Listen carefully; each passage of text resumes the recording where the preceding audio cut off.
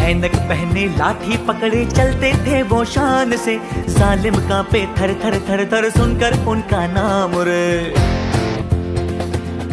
हो कद था उनका छोटा सा और सरपट उनकी चाल रे। दुबले से पतले से थे वो चलते सीना तान गए वंदे में वंदे मातरम वंदे मातरम।